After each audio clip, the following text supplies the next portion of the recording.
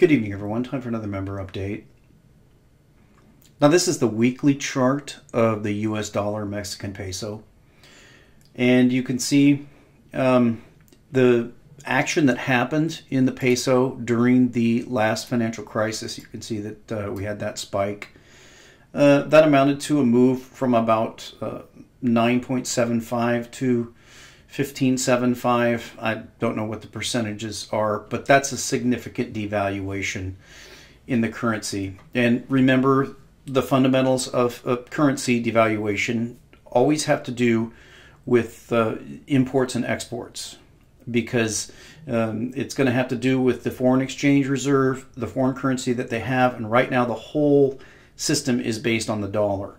That's why these are going to be dollar crosses. We're going to see here when we look at Venezuela, it's going to be one of the stories we look at how uh, the uh, currency can just simply collapse.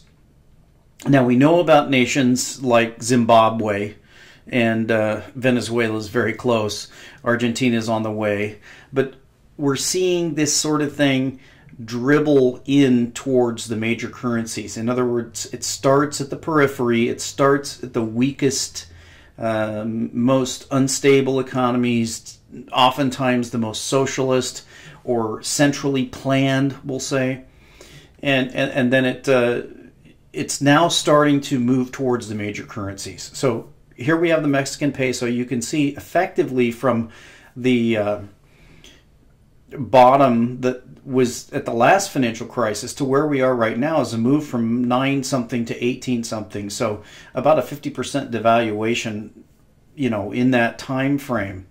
Uh, another currency we want to look at is the Canadian dollar. Now I know a lot of you uh, follow the news and uh, this is a pretty big news story because uh, people in Canada are reporting uh, very high prices on a lot of stuff and again, you have to look at the a balance of trade and the foreign exchange reserves. And uh, you always have to ask, you know, it's all going to be dependent upon what country you're in.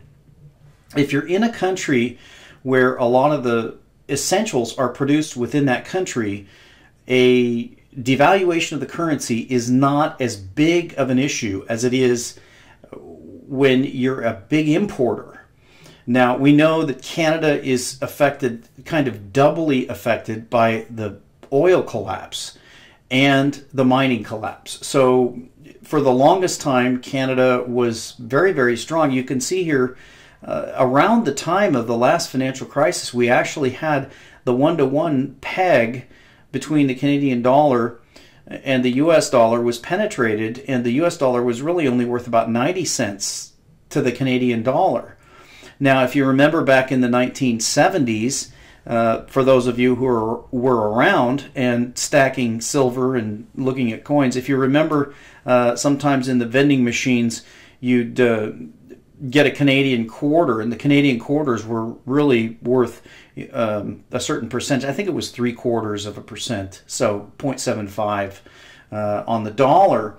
And uh, you know, you used to get mad when you got stuck with a Canadian uh, quarter because the only place you could use it was a vending machine because it was the same size and shape as the American quarter. But if you took it to a store, they wouldn't accept it because the Canadian dollar was signif- worth significantly less than the American dollar. Now, this is being revisited. You can see here a move of uh, uh, 0.9 all the way to 1.44, and we're getting the stories now out of Canada about how much the the inflation is for food, and so it's crazy stuff that's going on. We're we're seeing.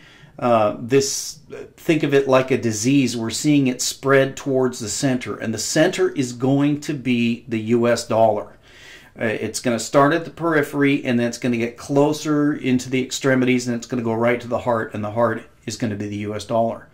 Now, let's pull up the Venezuelan currency because uh, we're going to read a story here on what's going on in Venezuela. And, uh, you know, I've talked about uh, this crazy uh, bus driver, uh, Nick Maduro uh, Mad Maduro, I call him. And you can see right here we've got the official rate of six uh, Venezuela, I think it's a bolivar, to the dollar, which is utterly absurd. We're going to talk about that when we get to that story. But let's jump over to this interview with Jeff Berwick. I wanted to take you to this interview because uh, Jeff Berwick really he's he's not someone that I agree with because he's obviously not a Christian and he uh, considers himself to be an anarcho-capitalist. Um, now I agree to I agree with him to the extent that uh, the government is completely out of control, and I also agree with him to the extent of the capitalist part that you know the the answer to everything, of course, is going to be free markets, and he gives a very good explanation. But I want to play a little bit of this. You should listen to the entire interview because uh, he really lays it on the line. But let's start right here and listen to some of this. And then, right. and, and we, have been off the um, uh, the the gold gold standard since '72. You know, Nixon brought us off, or brought the US off, uh, who, the US being the reserve uh, currency, and said it was only going to be for a wee while. I paraphrase, of course, because he wouldn't say wee while, but uh, it's been that way ever since. Well, actually, he, he did say that. He it was 1971, uh, August 15th. Richard Nixon removed the gold backing away from the dollar. So back then, the the U.S. dollar used to be backed by gold, and that's why almost every country in the world used U.S. dollars as reserve currency because they knew it was backed by gold. But the U.S. got so indebted uh, by the end of the 1960s due to the Vietnam terrorist attacks that they were doing, which was all started by a false flag terrorist attack on one of their own ships, where they tried to sink one of their own ships and blame it on uh, the Vietnamese. Uh, it was actually, I believe, Israel who tried to uh, fake it uh, and uh, got them into that war. And by the end of the 60s, I don't, I think you're around the same age as me, so you don't remember but I know by looking back uh, that uh, people were very fed up with all this war and killing uh, hundreds of thousands or millions of people in Asia for nothing, including outside of Vietnam. They were just carpet bombing Cambodia and Laos, uh, massive, massive terrorist attacks again by the U.S. government, which is by far the biggest terrorist organization on the planet. Uh, so people were that they were bankrupt. The U.S. was bankrupt. They could not afford to pay back any of their debts in gold anymore. And France actually pushed them and said, "We want all of uh, what we're owed back in gold," and uh, they couldn't do it. So Richard Nixon took the gold backing away from the U.S. dollar. And to your point about it being temporary, he actually did say it was a temporary measure, and he said it was because of currency speculators that they had to remove temporarily the gold backing away from the dollar. It's now been over, what is it, 45 years uh, since since then, and uh, I actually do think it is going to be temporary. It is actually going to go back at some point uh, once the U.S. dollar collapses. But uh, that's the state of affairs, and that as well is also why they faked the moon landings at the end of the 60s uh, and early 70s hang was to get people's mind off. Are you trying to tell me we haven't been to the moon? How dare you? Uh, there's no evidence of that. Uh, there's a lot of fake videos. Uh, yeah, he just uh, went but, there. Uh, but uh, yeah, that was all tied into that. And then again, they've had on the media. So great interview. Um, like I said, I don't agree with Jeff on on everything, but I agree with him on a lot of things. And yeah, he just went there. But let's look at this point he made about Nixon blaming on currency speculators. I I was not aware of that, and I don't know the facts, so I'll just take his word for it that uh, it was said to be a temporary thing. That very well uh, may be the case, and blamed it on currency speculators. Now let's take a look here at what's going on in Venezuela, and uh, this is a shocking story here because I've told you for the longest time uh, this madman Maduro uh, now, we had an election in Venezuela where the opposition actually got um, a majority, uh, actually a supermajority, and uh, two thirds. And they, there's a possibility they can actually remove him from power, which would be a wonderful thing to get rid of this nutcase. But uh, I'll show you how crazy this guy is. It's right here in the story. Venezuela's socialist government decreed an economic emergency on Friday that will expand its powers and publish the first data in a year that show the depth of a recession fueled by low oil prices and a sputtering state led model. The central bank, which has been lambasted by critics of President Nicolas Maduro's government for hiding statistics since the end of 2014, said the South American OPEC nation's economy shrank by 4.5% in the first nine months of last year. Inflation soared in that period to an annual rate of 141.5%, the world's worst. Venezuela's oil dependent economy is forecast to perform abysmally again in 2016. Maduro lost control of the National Assembly in a December election due to vo- a voter ire over this crisis. The government's decree, which the opposition led assembly says it has the power to approve or reject, sets a 60 day economic emergency and would give Maduro wider powers to intervene in companies or limit access to currency. So you can see it's more of the same. Uh, it's absolutely insane that uh, they're talking about giving him more power and the ability to intervene uh, in companies. This is what caused the problem in the first place is government intervention and they're talking about more. We're confronting a true storm, Maduro said during his State of the Nation address to Congress. This is not Maduro's storm, as some believe. It's a situation throughout the country that affects every Venezuelan family. He vowed the country would continue servicing foreign debt despite slipping international reserves, negating growing Wall Street pessimism about a potential default this year. He also insisted the time has come to raise heavily subsidized fuel prices. So Here's another pattern that you see with the FSA, uh, the free blank army, as Zero Hedge would call it.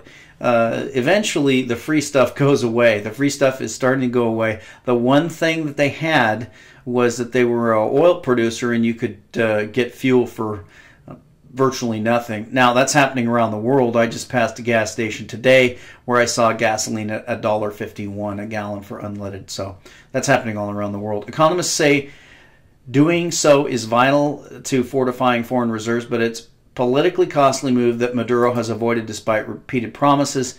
National Assembly President Harry Ramos Henry Ramos, a longstanding opposition leader, offered a jocular 40 minute response in which he chided Maduro and his policies and laughed off the heckling of the Socialist Party lawmakers. Quote, What angst there is here, Ramos, 72, said at one point. I guess since he's 72 years old, uh, I guess he's not too worried about getting bumped off. Uh, sticking his tongue out at the jeering legislators during the rare opposition speech broadcast on state television. Maduro, a former bus driver and foreign minister who was elected to replace Hugo Chavez in 2013, has stuck to his mentor's policies of strict currency and price controls. With massive shopping lines in Venezuela and widespread shortages of basics from milk to medicines, the government faces mounting pressure to change what critics called a failed model.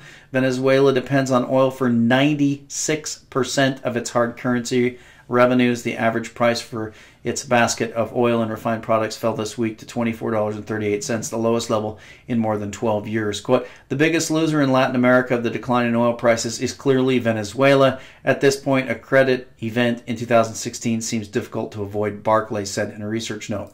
The heaviest payments in Venezuela's roughly 10 billion foreign debt bill for 2016 came in October and November. The government blames its woes on the global oil scenario and what it says is economic sabotage by its foes. Quote, Venezuela is suffering a new generation of economic war promoted by, here we go, web pages which fix the Bolivar dollar relation without any criteria or economic substance. Now, can you believe that? The central bank complained referring to Dollar Today. Remember that site that I'm always going to, Dollar Today? Now, what is Dollar Today? It publishes a black currency price uh, to the fury of the government. So uh, let's go to Dollar today, and not surprisingly, the absolute worst quote on the Bolivar. Now, you remember I showed you. Here's the official exchange rate of the Venezuelan Bolivar. It's 6.2 to the dollar.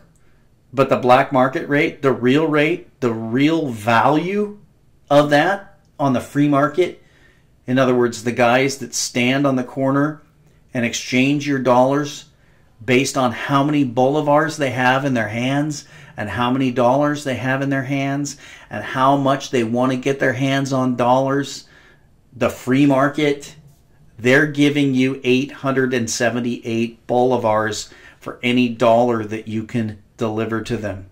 So that's what's going on. That's the reality of it. And that's just like Nixon. Remember, Nixon said that it's a temporary thing and it's caused by currency speculators and uh, will go back, but they never went back. Same thing. History repeats itself, or at least rhymes. So let's get over to the uh, privy issue. That was brought up on the member site here. And uh, this is the latest privy that we have. This is the 2016 Silver Kookaburra Monkey Privy. And I have to say, uh, just aesthetically, that's a fantastic coin.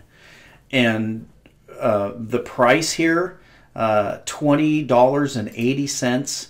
Uh, that's pretty good. I mean, yeah, that's $5 above spot pretty much. There's about 434 of them. So the big question is going to be uh, for the for the members, how well do these privies perform? Now, I think the mint number, don't quote me on it, but it's going to be roughly around 50,000 and uh, 50,000 is a very low number. But I went to eBay and uh, you know looking at the the privy I did a search here. You can see I tried to do the most specific but I did Perth Mint 1 ounce silver privy kookaburra and uh, doing them by lowest price first so it's not surprising to see this this coin here that's on APMEX and they're selling it for 2080 you can see here it's going for a little bit less. The lowest is uh, 2055. That's uh, an open auction and there's $3 shipping. So they're pretty close. Now, the big question is going to be not what this 2016 privy is going for, but what are the other privies going for? So we need to scroll down. Here's a 2015 Kookaburra privy. You can see this is going to be the goat privy. If you don't know how the privies work, is they it's the next year. The privy is the uh, going to be the the next year of the coin. It, that's going to be the symbol. So um, we've got the. Uh, I'm sorry. It's it's actually the current year. Um, so in 2016 we've got the kookaburra, and then it's the the monkey privy. In 2015 we had the kookaburra with the goat privy, and you can see those are around 30 bucks. Uh, so let's get down to some previous years and see how they hold up. Now, this is actually one that I bought. Uh, I'm, I can't remember the reason that I bought it.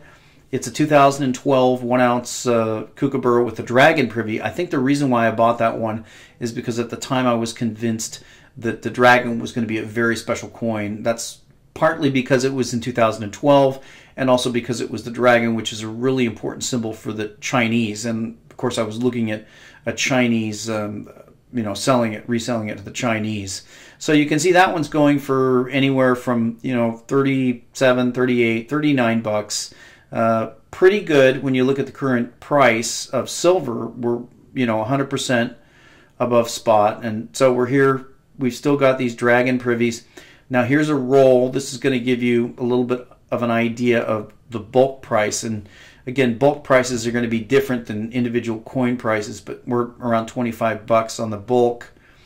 Um, so that's about it for those. Uh, that's not a lot of information. It's something you'll have to keep your eye on. But just based on the information that I've seen and just based on kind of an anecdotal opinion, I would say that the privies do not perform to the extent that the lunars perform. For me, the Lunars are a straight Chinese play. Uh, this is kind of a Australian play with a nod to the Chinese. Now, I've covered before in past videos how the uh, British Mint is doing uh, Chinese privies. The Canadian Mint is doing Chinese privies. I believe the New Zealand Mint was actually doing Chinese uh, lunar privies. So this is something that's spreading, but still for me, uh, based on the price analysis, I would have to say that uh, the Lunar Series, straight Lunar Series, half ounce and one ounce coins and two ounce coins, uh, and that's currently going to be the the monkey coin. Uh, from what I've seen, those coins, uh, if you bought the half ounce horses, uh, those are really taking off. So for me, the best money for your value is still going to be that uh, main Lunar Series coin. If you can get the one ounce uh, anywhere near spot, you want to get that. Uh, if you can get the half ounce uh, around that price, then that's going to be the second choice. And then the third choice is going to be those two ounce lunar coins. They're still the tops, in my opinion. So back to the charts. Uh, as I said, we're we're having a currency collapse that is kind of a domino sort of thing going on. And the weaker currencies, it's starting at the periphery. Now we know with the Russian ruble that uh, the United States specifically attacked the Russian ruble. It doesn't look like the chart's going to. Here it is. So the ruble is actually now challenging uh, new lows. Again, this is a US dollar ruble cross. So that means the US dollar is worth almost 80 rubles now. And you can see the size of that move just from, and I covered this already in previous videos, that the beginning of this move was around the Ukrainian, uh, we'll call it Ukrainian coup, because essentially that's what I believe it was. It was the United States overthrowing a traditional uh, Russian ally and putting in a, well, quote unquote, Nazi government and you can see here that we're talking about um, a more than a 50% devaluation in the Russian ruble. And uh, I've already covered how Russian interest rates uh, have, have risen. The Russians are actually fighting this with interest rates. They're fighting it the traditional way. Um, they're not shutting things down. They're just trying to ride this thing out. Now, this we're, we're reaching a critical breaking point here. You can see that we have a massive flag formation.